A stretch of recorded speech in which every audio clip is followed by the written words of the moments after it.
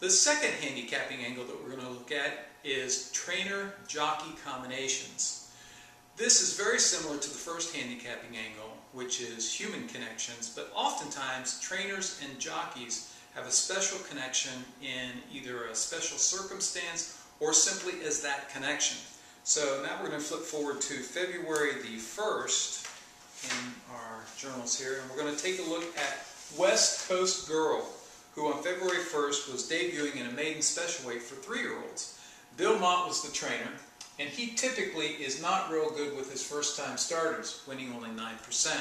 However, today he was giving John Velazquez a leg up to ride. John Velazquez and Bill Mott have been winning over the past two winters at Gulfstream at a 57% win rate when they hook up together. The fact that this horse was also nearly a three quarters of a million dollar purchase, was going out for live connections, had strong bullet works, but it was the trainer-jockey combination that led me to land on this horse, and in fact, I made West Coast Girl my bet of the day on that afternoon. As they hit the far turn, backstretch, it's Bridal Heiress and West Coast Girl, and these lengths clear of their competition. Bridal Heiress almost a length in front, ran 22 and 2 for the opening quarter.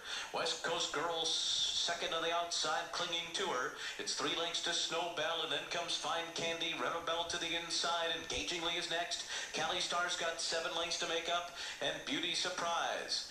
Bridal Heiress continues to lead the way. West Coast Girl making her work. They went 45 and 1 for a half mile, and Snowbell is three lengths off of them. Engagingly fourth and Cali Star, they're into the stretch. And West Coast Girl and John Velazquez have taken the lead. Bridal Heiress trying to stick with Snowbell and Gene from Lincoln. Engagingly is Cali Star on the outside. But West Coast Girl front post West Coast Girl